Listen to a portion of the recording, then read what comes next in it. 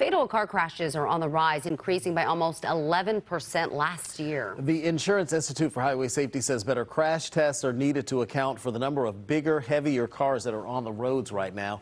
Tonight, consumer investigator Steve Sbraccia digs deeper into those changes.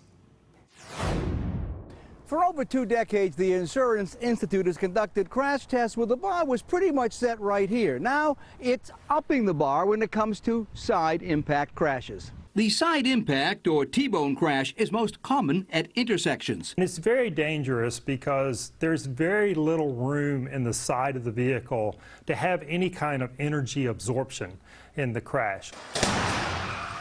This latest round of tests are being conducted with a heavier test vehicle, which moves at higher speed because in the last 20 years, SUVs have gotten heavier and crash speeds have increased. In a case like this, what do you want to see the passenger compartment look like when there's a side impact crash? How well does that compartment remain intact, either for the driver or for the rear seat passenger? Of the 18 midsize SUVs tested, 10 received good ratings, two were acceptable, and six marginal. The VW ID4 is an example of what should happen. You can see here there was very little intrusion into the occupant compartment, and so the driver and the rear seat passenger were well protected.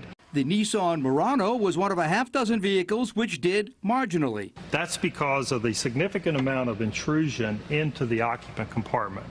That also resulted in a higher likelihood of both chest injury and pelvis injury for the driver.